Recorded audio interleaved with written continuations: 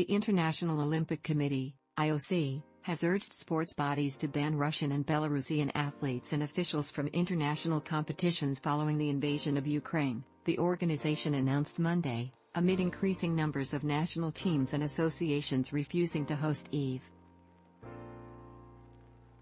Paralympics The International Paralympic Committee is set to meet Wednesday to discuss Russia's invasion of Ukraine and Belarus assistance. The Beijing Winter Games are set to start on Friday. The IOC previously denounced Russia's invasion of Ukraine amid the Beijing Olympic and Paralympic Games as a violation of the Olympic truce.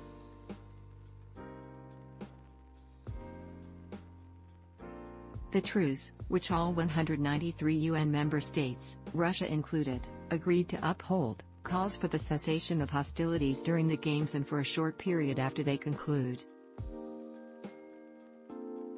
It dates back to the very beginning of the Olympics movement and serves to promote peace and ensure athletes' safe passage to the Games, though it is non-binding and there are no formal consequences for breaking it.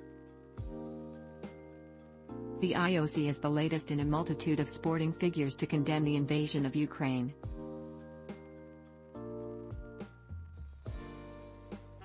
Teams and organizations have distanced themselves from Russian sponsors, national teams have refused to play against Russian competitors and organizations like UEFA and Formula One have decided against hosting events in Russia.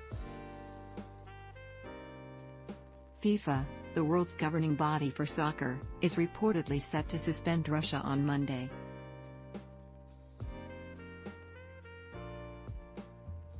The organizing body faced backlash for deciding the national squad must compete upcoming games in neutral territory, threatening to derail the upcoming World Cup as other national teams including England, Poland and Sweden refuse to play Russia.